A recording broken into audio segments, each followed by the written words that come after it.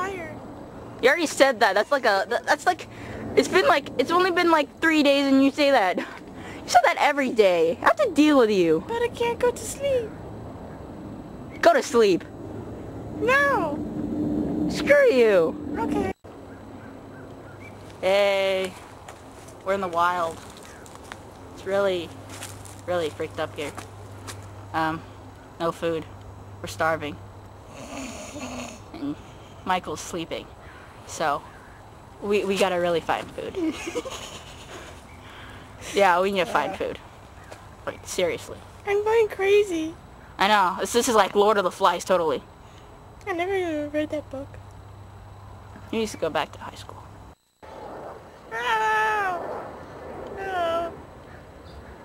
See, uh, Michael, Michael's going kind of crazy right now. Crazy. Ah, little boys. Boys, old people. There's old people here. It's been a long time since we're out in the wild. It's really, really crappy.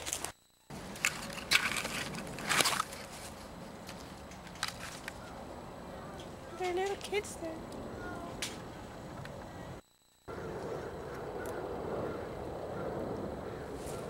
My stick.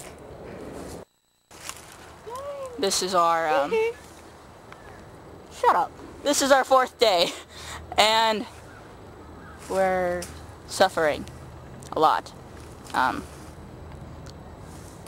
and Michael's going kind of crazy. Very My crazy. food. Still, fourth day of our uh, long week in the forest. We found a bench and a garbage can out of nowhere.